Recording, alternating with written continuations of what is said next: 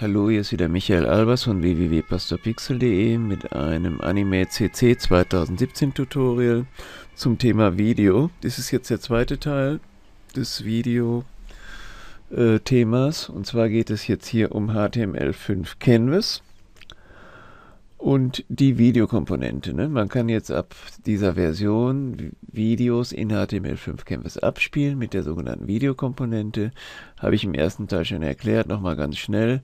Unter Fenster, Komponenten gibt es hier unter Video eine Videokomponente, die zieht man sich auf die Bühne, wählt sie aus, gibt hier das, äh, wenn man auf den Bleistift klickt, Ne, gibt man den Pfad zu dem Video an, kann man sich hier aussuchen.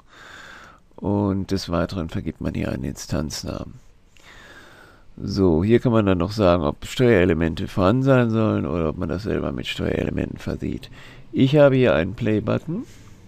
Der hat den Instanznamen Play-BTN bekommen. Ist eine ganz normal, ein ganz normaler Button, eine ganz normale Schaltfläche. Und äh, damit möchte ich jetzt das Video abspielen. Und des Weiteren geht es jetzt hier darum, dass das Video an einer bestimmten Stelle oder an einem bestimmten Zeitpunkt stoppt. Ja, das möchte ich euch jetzt hier mal erklären. Und ähm, wenn man jetzt Videos hat und man hat irgendwelchen anderen Content, irgendwelche Movie-Clips, dann möchte man ja unter Umständen, dass dann der Movie-Clip über dem Video liegt, ne, dass das Video gestoppt wird und äh, dass dann irgendwie, was weiß ich, ein Vorhang zugeht oder was auch immer.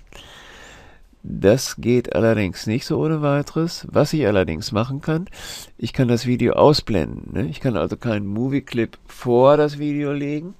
Ne? Ich kann also nichts über das Video legen. Das Video liegt immer ganz oben. Aber ich kann das Video ausblenden und an der Stelle dann was anderes anzeigen und dann bei Gelegenheit wieder einblenden. Das erkläre ich euch auch. So, ähm, also hier mein Video hat den äh, Instanznamen Frog bekommen. Jetzt gehe ich mal hier in äh, ein Bild der Ebene Actions und mache mal Fenster Aktionen auf. Und jetzt hat man die Möglichkeit, ähm, hier Codefragmente zu benutzen. HTML5 Canvas, Komponenten, Video, Ne, da kann ich zum Beispiel hier das äh, Video anhalten benutzen, das Video eben auswählen, so Video anhalten. Und dann steht hier dieser Befehl für Video anhalten. Ne? Des Weiteren brauche ich aber auch noch ein Klick-Event für meinen Button. Auch den kann man sich über die Codefragmente holen. Klicke ich den Button an, äh, klicke auf Ereignisprozeduren, Mausklick-Ereignis und dann fügt er mir hier so einen Event-Händler, Event-Listener ein für Mausklick. Da finde ich den Namen allerdings ein bisschen blöde. Den ändere ich mal ab in Stop oder Play Video. So, Play Video.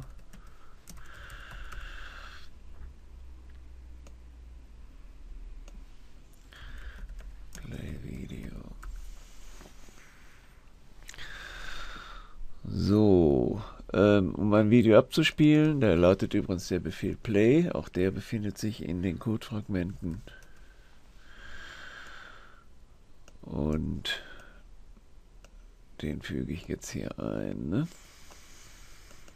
So. So, schauen wir mal, ob das funktioniert. Ich mache mal Steuerung Enter. Da ist mein Video. Jetzt klicke ich auf Play. Jetzt spielt das Video ab. Ne? Wunderbar. Soweit, so gut. So, jetzt möchte ich, dass mein Video an einer bestimmten Stelle stoppt. Das heißt, jetzt braucht mein Video einen Event Listener. Und da gibt es einen Event Listener, der heißt Time Update. Und dieser Event Listener, der läuft in Schleife durch. So, ich nehme mal hier mein äh, Videoobjekt. Das ist übrigens jQuery-Schreibweise, das hier, ne? Und hier schreibe ich den Event Time Update. Und dann nenne ich die Funktion mal Stop Video. So, nun schreibe ich meine Funktion Stop Video.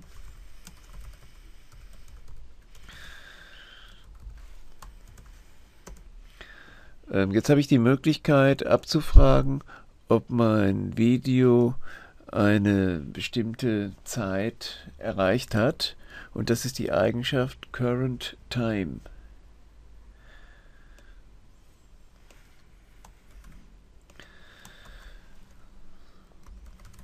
Current Time.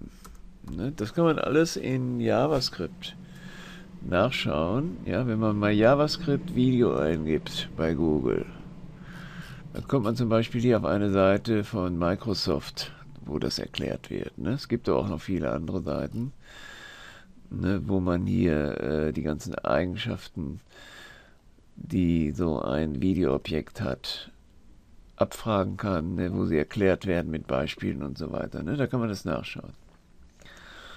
So, und Current Time ist eben die Abspielzeit, also da, wo der Abspielcursor gerade ist. Und wenn ich das jetzt in eine if-Struktur einbinde, ich schreibe mal if current time größer als 5. Das wären dann 5 Sekunden. Ne? Wenn also 5 Sekunden überschritten wurden, dann soll das Video stoppen. So, nehme ich wieder die Stelle da raus ändere das jetzt mal ab in Pause. Ne, das haben wir ja eben eingefügt aus den Codefragmenten.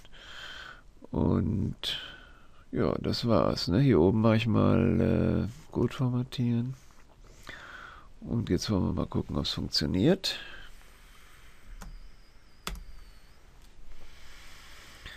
Ich spiele es ab.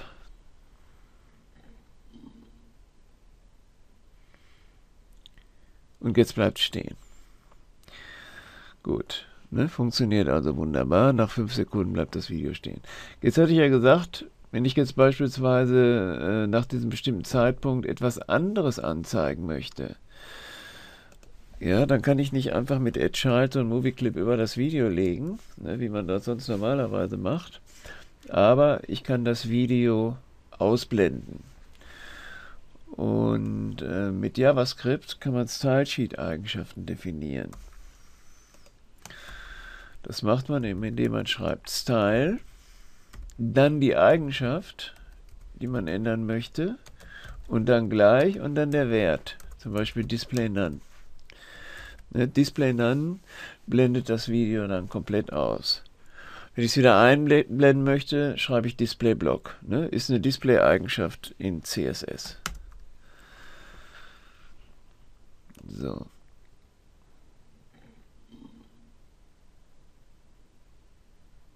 Und siehe da, ne, das Video wird ausgeblendet, es wird gestoppt und es wird ausgeblendet.